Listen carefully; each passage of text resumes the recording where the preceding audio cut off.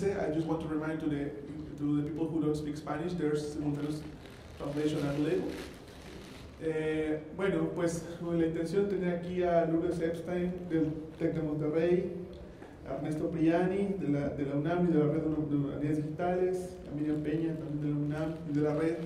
Es una idea muy sencilla que creo que fue la génesis del track que la red ha tenido a bien curar para esta Wikimanía, que fue eh, cuestionar, reflexionar, criticar las reglas fundacionales de Wikipedia estas reglas entre la comunidad editora de esta obra que tiene 35 millones de artículos en 288 idiomas, son cinco reglas transversales a, todo, a toda esa gran masa de, de, conocimiento acumulado. Eh, pero esas reglas hay, son cinco, le llamamos los cinco pilares, al ser justo una metáfora de aquello que le da sustento a Wikipedia. ¿no? Eh, esas cinco políticas eh, regulatorias son aquellas que son transversales a todas las ediciones. Wikipedia en japonés, en polaco, en portugués, en náhuatl, en, todas las 288 idiomas tienen eh, las mismas reglas. Tal vez tienen cientos de políticas, tienen cientos de discusiones particulares cada una de estas de esas ediciones, pero estas cinco reglas no cambian. Eh, la primera de ellas es relevancia enciclopédica, es decir, cualquier cosa que esté en Wikipedia tiene que ser relevante a nivel enciclopédico. La segunda es que sea un punto de vista neutral. La tercera, que sea un contenido libre bajo licencia Creative Commons. La cuarta es una regla de cordialidad, de respeto, de buena etiqueta entre las personas que colaboran en el proyecto. Y la quinta es de esas todas las reglas y es que algo tiene que cambiar para que esto mejore. Entonces, pues ¿Qué les parece si vamos reflexionando sobre el primer pilar, la relevancia enciclopédica? ¿Qué, qué reflexiones tienen? ¿Qué piensan? ¿Es relevante? ¿Qué significa relevancia? Vaya, ¿qué, qué quiere empezar para este punto? ¿Quieres un orden? Bueno, oh, bueno, quieres bueno, empezar. Eh, es una de las primeras cosas que siempre me llamó la atención de la Wikipedia es que decidiera usar el formato de una enciclopedia, que la idea fuera recuperar este modelo de la ilustración francesa principalmente y convertirlo en el, siglo XXI en un modelo de transmisión del conocimiento con las adaptaciones que hace. Eh, el, modelo de la enciclopedia es, muy bueno desde el punto de vista de que eh, de alguna manera sintetiza una tradición que busca eh, dejar documentado y plasmado una suerte de conocimiento universal.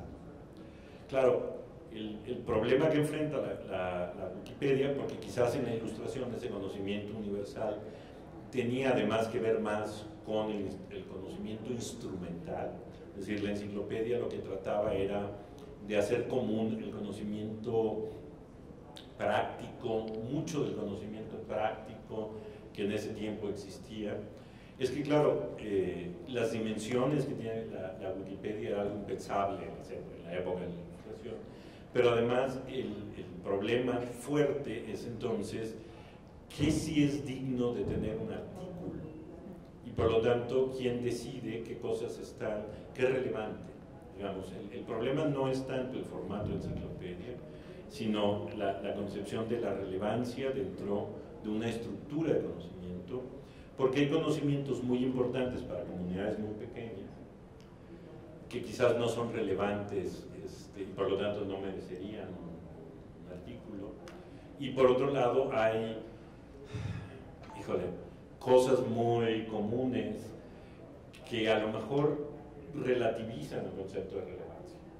¿no? Y entonces, justo el, problema es como eh, estructuras una disposición abierta a incluir todo el conocimiento y al mismo tiempo discriminas entre ese conocimiento superficial, que puede ser, por ejemplo, anécdotas ocurridas a un actor que se vuelven una entrada en la Wikipedia, porque lo consulta mucha gente y a mucha gente le interesa, frente a quizás algo que es muy importante para una comunidad pequeña, pero que no entra en la, en la enciclopedia porque no es lo suficientemente relevante para una yo creo que es muy interesante hacer esta comparación con la enciclopedia siglo XVIII a nuestros días, en donde lo que se mantiene es el propósito. Los eh, enciclopedistas ilustrados lo que querían era hacer accesible un cúmulo de conocimientos y creo que ese propósito se mantiene. Entonces, hacer un recuento del saber universal es de entrada una tarea imposible. Pero lo que creo que es muy eh, relevante del esfuerzo de Wikipedia es que sea este esfuerzo dinámico, siempre abierto, nunca cerrado, incluso desde las políticas. ¿no? A mí me empieza uno con las políticas y cuando va a la última dice, bueno, y entonces, ¿cuáles son las políticas? Si cualquiera puede ser derogada. Pero de entrada es un esfuerzo por poner, como en el siglo XVIII, un conocimiento que en el siglo XVIII lo era claramente este tipo de conocimiento práctico, es una herramienta para que la gente sea más libre. Creo que eh, antes y ahora la idea de contar con elementos cognitivos que le permitan a las personas entender y poder actuar en consecuencia es un elemento fundamental. Y de ahí yo creo que el espíritu del saber enciclopédico se mantiene y de ahí ciertos criterios que como lo dicen los mismos, las mismas políticas son de sentido común. Si no están fijos, sí tienen que ver con el sentido común en el sentido literal del texto. Es decir, que la mayoría los avale.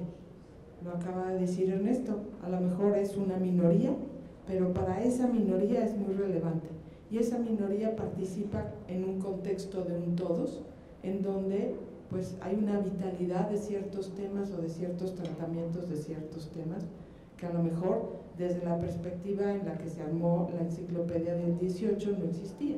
Un grupo autorizado para hacer esta selección y organización temática. Que no había otra manera más que hacerlo así. No, no había un público, no había un grupo de personas como hoy sí lo hay, y creo que por eso vivimos en la mejor de las épocas. Hoy sí podemos hacer un esfuerzo grupal como en ese entonces no se podía hacer. Entonces el saber enciclopédico nunca ha sido tan enciclopédico como ahora. Mira esta parte de la enciclopedia, justo lo que, me, lo que más me, me impresiona es este saber grupal es decir, no es un grupo conjunto de tres individuos que autorizan que sí entra y que no entra. Es el, el propio debate, la, la, gente la que está diciendo, a mí me interesa tener un artículo sobre el pop, ¿no? ¿Qué? ¿Por, qué limitarlo a, no, no, el pop no es, es arte, no es alta cultura, no es alta academia, no, es un tema de interés común cosa que eh, sí, la enciclopedia tradicional, la enciclopedia del 18, no estaba para temas tradicionales y comunes.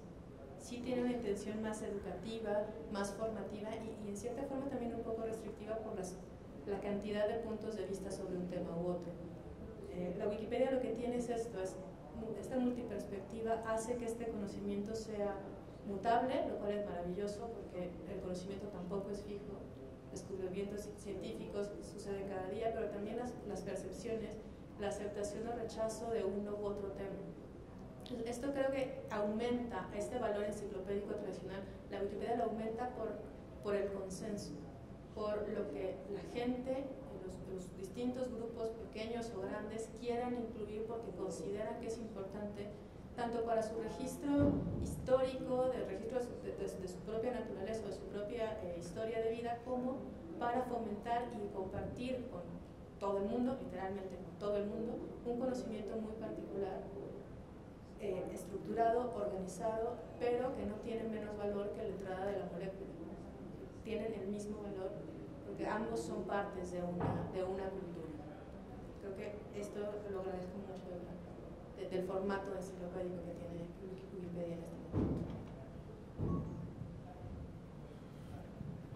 En, tanto la, se tiene esta masa ¿no? que aspira a ser muy universalista, muy total, ¿no? pienso como, como Pascal y su esfera, ¿no? sí, desde todos lados, ¿no? pero eso no deja de ser una estructura, ¿no? con sus reglas, pero no deja de configurar una estructura ¿Qué, críticas tienen ustedes hacia esa estructura? ¿Cómo la ven desde fuera? Bueno, no puedo decir desde fuera porque también ustedes editan, pero ¿qué nos podrían comentar sobre esto? No deja de ser estructural también y, ser una sola forma de, de, poder generar el saber, pero debe haber otras. ¿Qué, qué, ¿Cómo ven ustedes esto?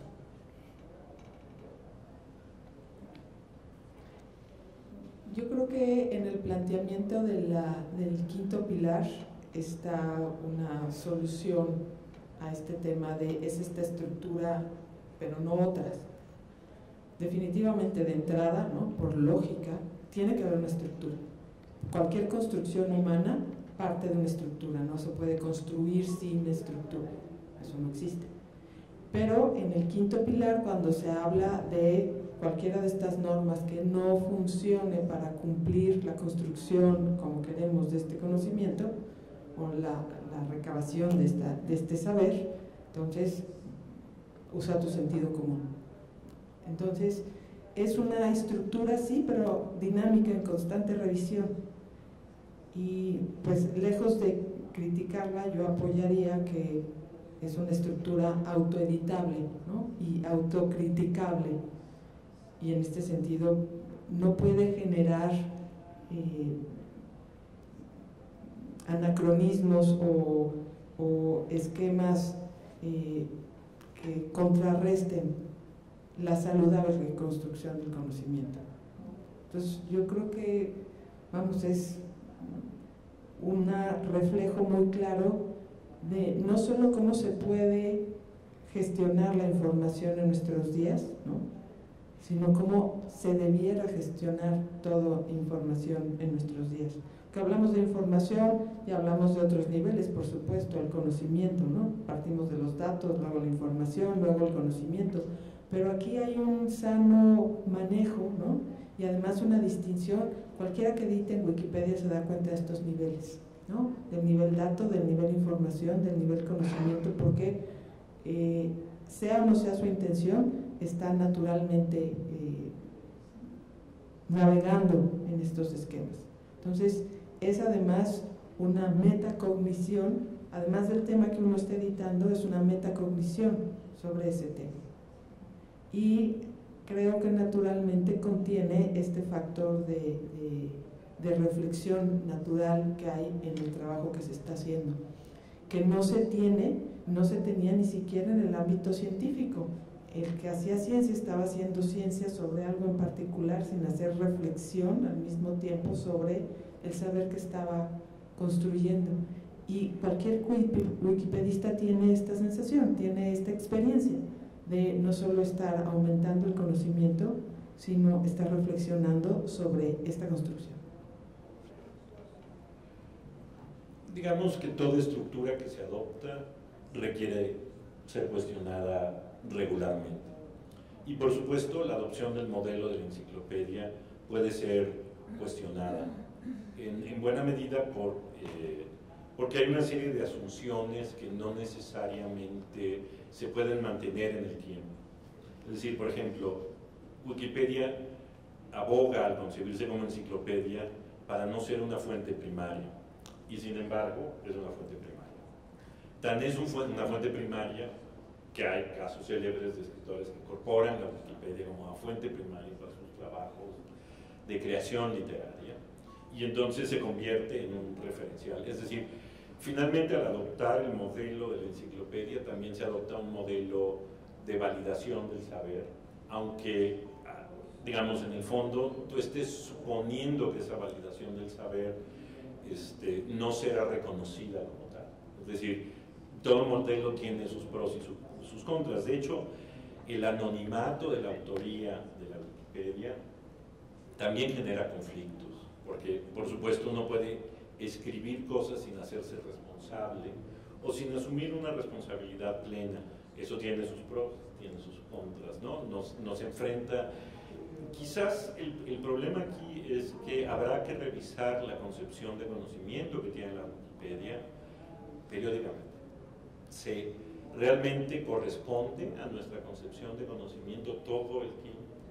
¿Cuándo no? ¿Cuándo sí? Es decir, la, Wikipedia vino a ocupar el lugar de las enciclopedias. A mí me queda clarísimo. Es decir, antes eh, una familia gastaba un dineral en comprar por lo menos una vez en la vida una enciclopedia. Yo me acuerdo cuando mi madre compró las dos enciclopedias, porque además se compraban en abono, como la enciclopedia original. La enciclopedia original también salió en abonos, ¿no? O sea, era un negocio a largo plazo. Y le ganó ese lugar. De hecho, este, tumbó a la que hizo Microsoft, que ahora no, no me viene el nombre, en carta. Este, es decir, el futuro de la enciclopedia estaba en el web, claramente. Pero lo interesante es que el que sea libre, el que sea gratuita, el que no tenga, la moldó de mejor manera, pero es exactamente lo que requerimos, es el modelo que requerimos de conocimiento.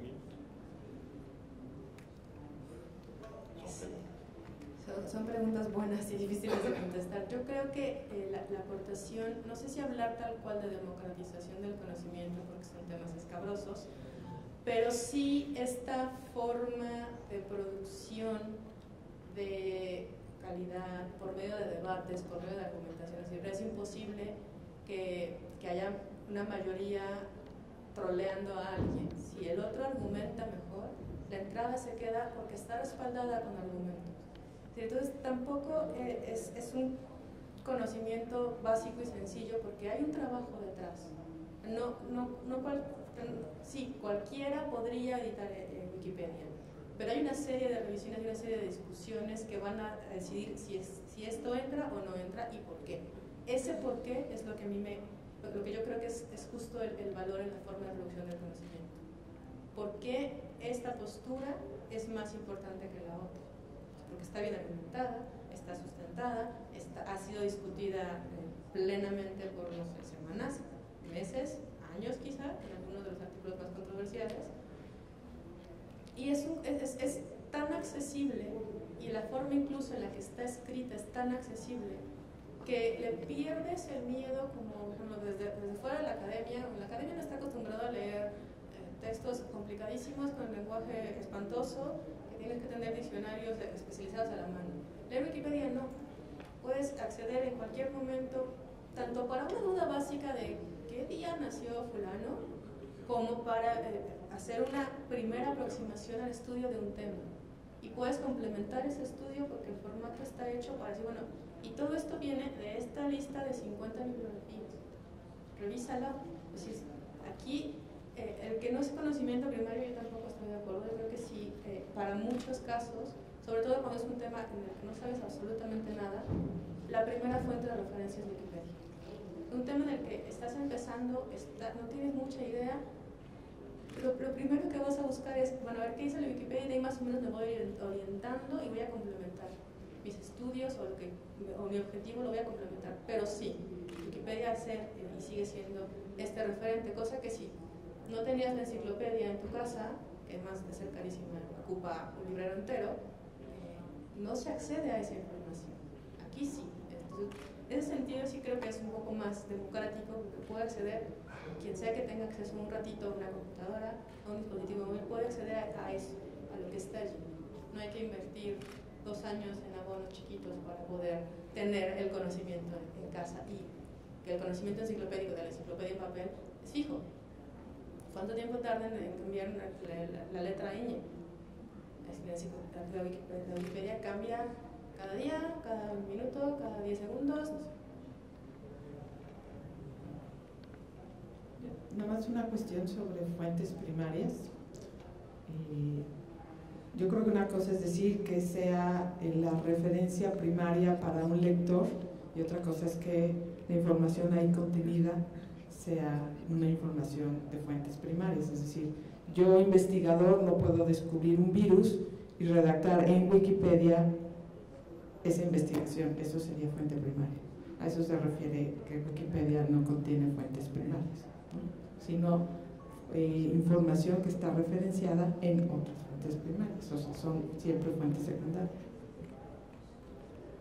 Tratando de hacer un, englobar la reflexión que tuvieron ustedes, es entonces hay un par de cosas que veo para, para el segundo pilar. Lo primero entonces quiere decir que en su lógica estructural y discursiva, entonces Wikipedia, ayer escuché un, un, argumento que decía que la comunidad de Wikipedia se resiste en absoluto a, admitir su papel político, ¿no? Por humildad colectiva, pero lo tiene, ¿no? Lo ejerce además, si o no. Entonces, usted, me dicen ustedes, o lo logro entender así, que hay una, entonces una nueva estructura configurándose fuera de primario, secundario y terciario quizá, entonces tendremos que a nivel pedagógico rehacer qué tanto es primario y secundario. A mí me pasa que leo artículos continuamente que están en la barrera de lo primario y lo secundario. ¿no? Entonces, ¿será necesario, esa es la primera pregunta, ¿será necesario rearticular ese, ese pensar pedagógico de primario y secundario? Y la dos, pasando al siguiente pilar, lo neutral. Eh, ¿Tiene un, ser humano la capacidad de verse desde fuera para tener esa versión purificada de los hechos? ¿Qué, qué, les produce ese, esa noticia? Creo que será lo que nos va a dar chance el segundo pilar, nada más por el tiempo que tenemos, pero ¿qué piensan de estas dos ideas?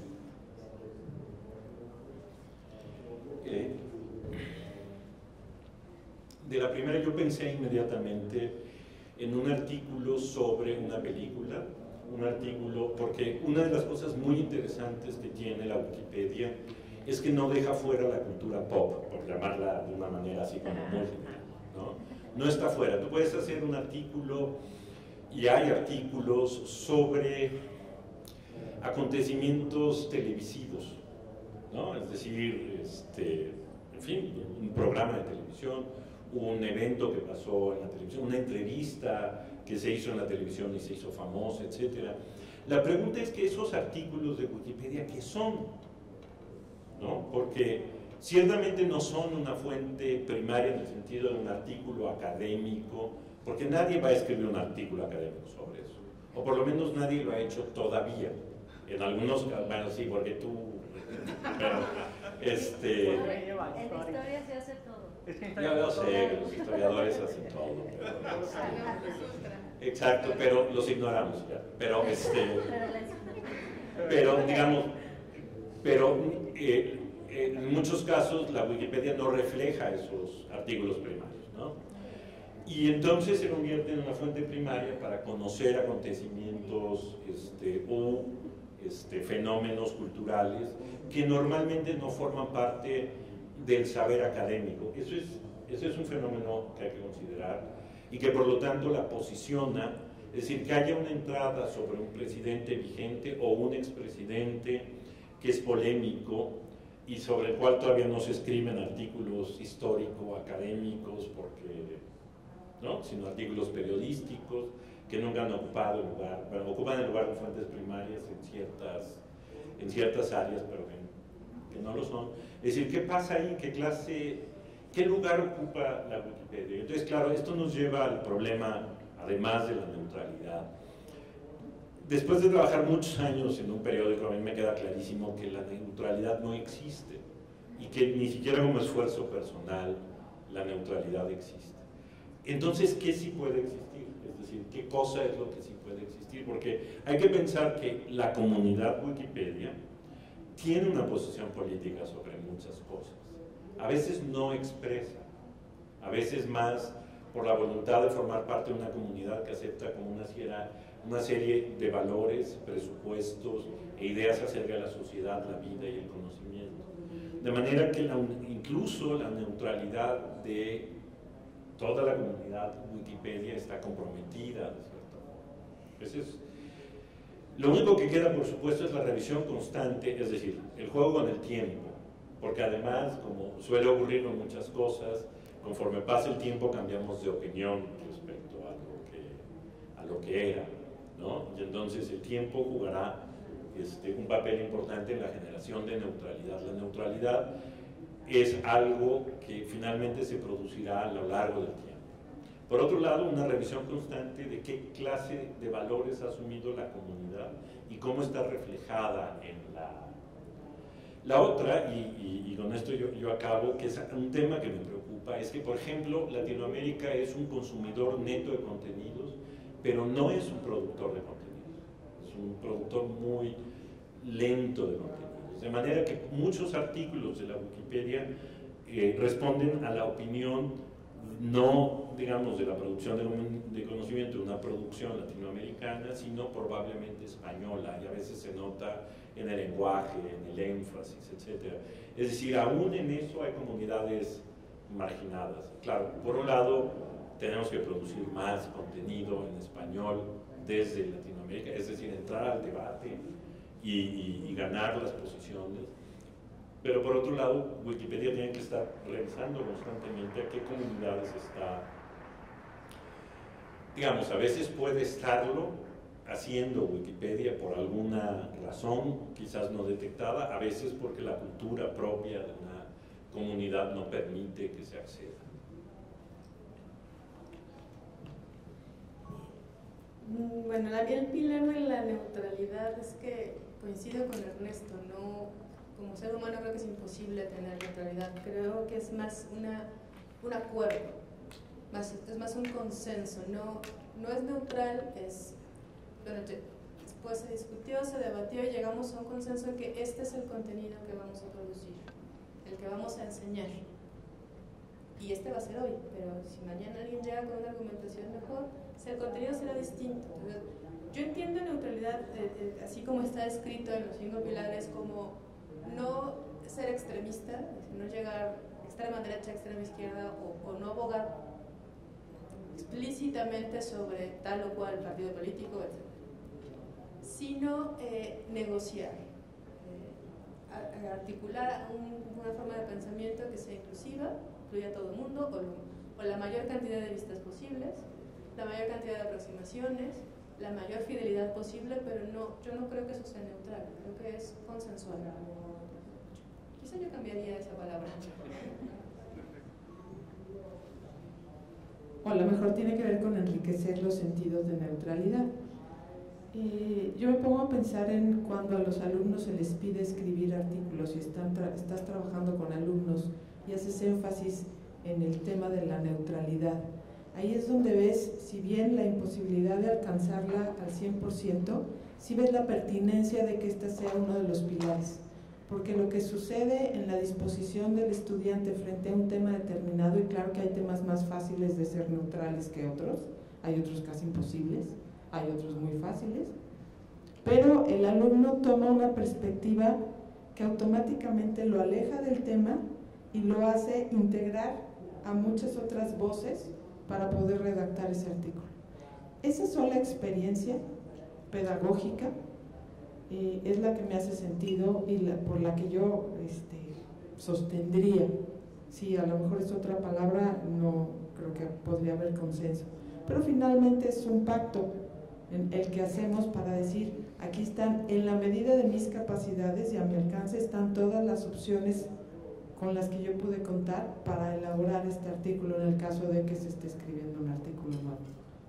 Y a lo mejor el tema es más o menos político, perdón, polémico, y creo que eso hace que los alumnos se interesen más en ciertos temas, pero al mismo tiempo les plantea retos, ¿no? A los alumnos y a cualquier wikipedista que está trabajando un tema. Entonces, yo creo que tiene que ver con no un logro, es decir, haber logrado ser neutral, sino como una disposición subjetiva en el tratamiento de todos los temas. Y yo creo que en eso podríamos estar todos de acuerdo. Genial, está maravillosa esas, ideas que han acumulado acá. Eh, tratando de avanzar para que podamos cubrir casi todo, creo que nos queda poco tiempo, pero eh, yo les pregunto, en su devenir, en sus ideas, en su reflexión, Wikipedia lleva el eslogan, eh, incluso en su actuar jurídico, administrativo, eh, de todo tipo, llévalo libre por delante. ¿A ustedes en qué les ha hecho más libres Wikipedia? ¿Cómo podrían percibir Wikipedia libertad? En su persona y en su pensamiento, en su manera particular de apreciar el mundo, ¿ustedes creen que les ha hecho más libres? ¿Si existe esa libertad de Wikipedia? y por el tercer pilar, digamos, lo hago. Hijo, muchas cosas. Soy directora de una biblioteca y vivo constantemente en estos dos mundos, ¿no? en, hacer referencia a recursos de acceso libre y en hacer referencia a recursos de suscripción, que además son cantidades millonarias las que se invierten en estos recursos. Y uno se pone a pensar justamente en temas tan básicos como los derechos humanos, por qué ciertas personas tienen acceso a esto y otras no. Y además, pues esa es una cadena. Las personas que tienen acceso a esto van a tener tal desarrollo que les va a permitir seguir teniendo acceso a otras cosas que las personas que no tienen acceso, en fin, no lo necesito desarrollar más. Entonces, para mí es una cuestión de tipo moral básico, ¿no? Y siendo una eh, miembro de una institución académica privada, pues todavía me representa una responsabilidad mayor, siendo primero que nada una mexicana. mi, el modelo que para mí eh, propone Wikipedia en la gestión de información tiene que ver con la posibilidad de que, por lo menos para mis alumnos, si ya tienen ese privilegio de estar en una universidad privada, al menos tienen que tener una respuesta social frente a este privilegio. Y la respuesta está en trabajar con Wikipedia. O trabajar con cualquier otra gestión de conocimiento que pueda publicarse. Desde antes de yo empezar a trabajar con Wikipedia tenía esto muy claro, ¿no? La aparición de YouTube, por ejemplo, fue una gran plataforma para que no solo pedagógicamente los trabajos de los alumnos tuvieran mayor relevancia al ser publicados, que no era lo mismo hacer cualquier cosa a hacer algo que va a ofrecerse al mundo, ¿no? Entonces ya desde ahí tiene una relevancia académica, pero sobre todo tiene que ver con una responsabilidad social impostergable y creo que principalmente para los estudiantes universitarios y más para los estudiantes de universidades privadas. Sí, a mí lo que me gustaría decir es que eh, es fascinante cómo de pronto uno puede participar en la voz que los demás van a tomar para conocer algo. Porque normalmente, eh, en mi caso particular, que me dedico a puros filósofos que nadie conoce, o que la gente, con excepción de Giordano Bruno, que todo el mundo lo quiere, a todos los demás como que no. Y, este, y, claro, normalmente tú tienes que recurrir a voces que hablan de ellos para presentarlos, que son voces autorizadas y que dicen lo que creen. Y es fascinante cuando tú puedes entrar y modificar y agregar en una página algo que todos los demás van a ver, es decir, que puedas influir de alguna manera en algo que no es privado sino público, que no es individual sino colectivo. Es decir, que puedas sumar tu voz a, otras voces y por lo tanto hacer llegar una visión, una idea, una información acerca de, eh, por ejemplo, en mi caso ha sido muy satisfactorio, liberador diría yo, poder agregar todas mis referencias y mis fuentes, por ejemplo, a la, a la página de Ficino y de Pico, porque eso me ahorra mucho trabajo de tenerle que decir a mis alumnos, tienen que ir aquí, ya, ya, ya, ya, ya, ¿no? los remito a la Wikipedia me ahorro muchas explicaciones. Pero yo sé que no solo son mis alumnos, es decir, que es una aportación general que además le da visibilidad a aquellas fuentes académicas que son poco consultadas, etc. Y digamos como experimento colectivo es lo que me parece increíblemente liberador. ¿no? Eh, y en ese sentido que el conocimiento sea libre es decir, que lo que yo aprendí, lo que yo sé, pueda ponerlo ahí y, que pueda ser conversado, modificado, agregado, ampliado, incluso suprimido por otros, forma parte de una experiencia, eh, una experiencia de libertad eh, profunda, sobre todo además en un... Eh, aquí en México todos los días está saliendo un nuevo caso de plagio, yo no sé por qué todos son historiadores, pero es, cada día es un nuevo... Todo culpa del ¿Eh? Culpa del todos son, todos son nivel 2 y 3 y así, ¿no? Pero, este, eh, ¿cómo se llama? Es interesante algo que no puedes plagiar que no puede, este, o, para lo cual el plagio no tiene, no tiene sentido. Entonces quiere decir que algo está bien, que algo tiene valor aquí. Es que es, es, una libertad comprometida.